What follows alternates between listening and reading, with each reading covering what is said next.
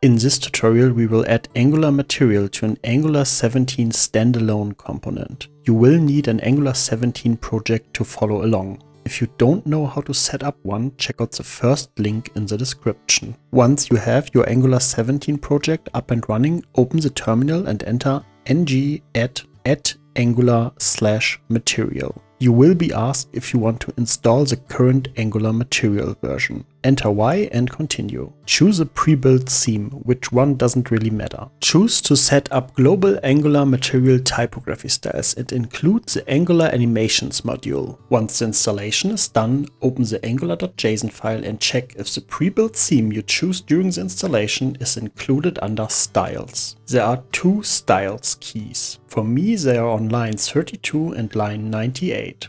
If they are both missing, you can get the paths you need from your Node Modules folder. Go to Add Angular, Material, Pre-built Themes, right-click on the theme you want and copy the relative path. Remove the first part of the URL and change the backslashes to slashes. The next step would be to add the material component we want to use to our app.module.ts file. But since we use a standalone component, we don't have the module file. So instead, we add the component we want to use to our app.component.ts file. Once we have done so, we can add the component to our template and run the application.